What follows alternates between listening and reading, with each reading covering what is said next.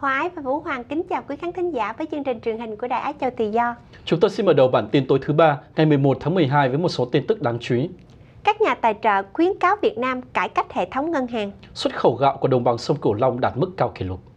Kính thưa quý khán thính giả, Việt Nam sẽ đối mặt với nguy cơ đình đốn kinh tế nếu chính phủ không cải cách hệ thống ngân hàng nhiều nợ xấu, cũng như tái cấu trúc các doanh nghiệp nhà nước làm ăn thiếu hiệu quả. Đó là lời cảnh báo của các nhà tài trợ đưa ra trong cuộc họp tư vấn các nhà tài trợ mới khai mạc hôm qua tại Hà Nội.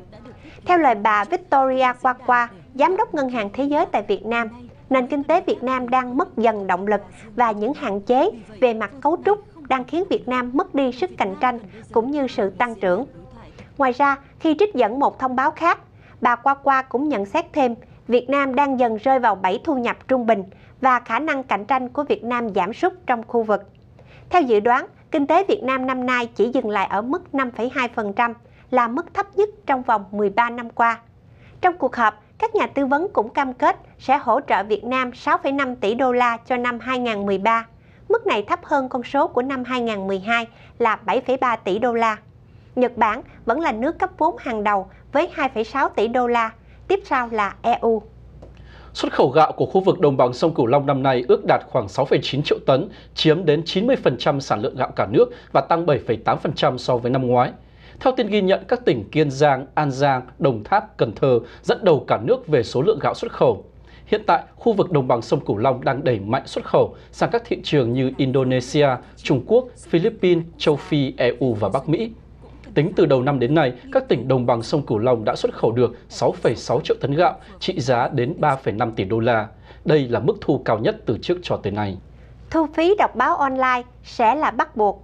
Đó là ý kiến của ông Lê Quốc Minh, tổng biên tập báo mạng Việt Nam Plus, một cơ quan trực thuộc Thông tấn xã Việt Nam.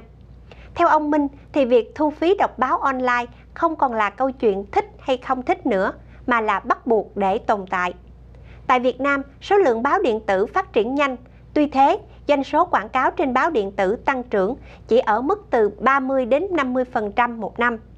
Trong khi đó, chưa có một trang báo điện tử nào ở Việt Nam chính thức thu phí đọc báo online. Theo ông Minh, xu hướng thu phí báo online sẽ tăng lên khi báo in ngày càng đi xuống.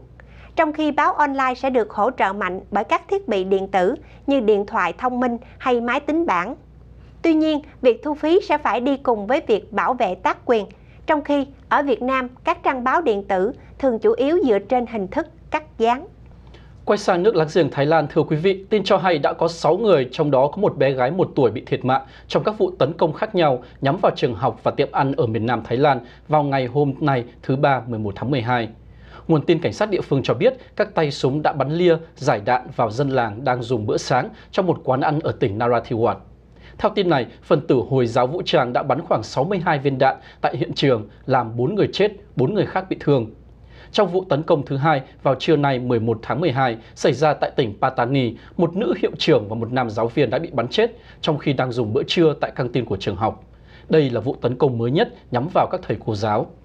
Hàng trăm trường học ở các tỉnh Patani và Narathiwat đã cùng tạm đóng cửa trong những tuần vừa qua để phản đối tình trạng nguy hiểm đối với những người hoạt động trong ngành giáo dục. Các phần tử Hồi giáo vũ trang cho rằng hệ thống trường học ở các tỉnh cực Nam Thái Lan phục vụ chủ đích của chính phủ áp đặt văn hóa Phật giáo ở khu vực có đa số là người theo đạo Hồi giáo. Kể từ năm 2004 đến nay, bạo động ở miền Nam Thái Lan đã làm thiệt mạng 5.300 người, kể cả người theo đạo Phật lẫn tín đồ Hồi giáo. Về tình hình Syria, Nga cho biết sẽ chống lại việc Hoa Kỳ mới đây kêu gọi Moscow thuyết phục Tổng thống Syria Bashar al-Assad rút lui và đe dọa trừng phạt Damascus với hy vọng chấm dứt cuộc nội chiến ở Syria. Nhật báo Nga Kommersant có nhiều ảnh hưởng đưa tin này hôm nay. Theo đó, Nga không sẵn sàng áp lực ông Assad từ chức, mặc dù tìm cách xa lánh một đồng minh kỳ cựu và cũng là nước mua nhiều võ khí của Moscow. Tin của Nhật báo này rằng Nga không có ý định thuyết phục Tổng thống Assad tự nguyện từ chức, cũng là dấu hiệu rõ rệt về mối bất đồng tiếp diễn sau hai cuộc hội họp mới đây giữa các viên chức Nga-Mỹ với đặc sứ quốc tế laka Brahimi. Đặc sứ Brahimi đang mưu tìm giải pháp cho cuộc nội chiến Syria dựa trên bản tuyên bố Geneva 30 tháng 6, vốn kêu gọi hình thành một chính quyền chuyển tiếp Syria để chấm dứt cuộc nổi dậy 20 tháng nay nhằm lật đổ chế độ Assad. Quý vị vừa theo dõi bản tin truyền hình của Đài Á Châu Tự Do. Tất cả những chương trình này đều được chúng tôi đăng tải và lưu trữ tại địa chỉ rfa tiếng việt.net. Nếu bị tường lửa ngăn chặn, mời quý vị vào địa chỉ trang nhà tại á châu tự do.info. Quý khán thính giả cũng có thể xem chương trình bằng điện thoại di động tại địa chỉ vietnamese.rfa.org. Hòa Ái và Vũ Hoàng xin kính chào tạm biệt.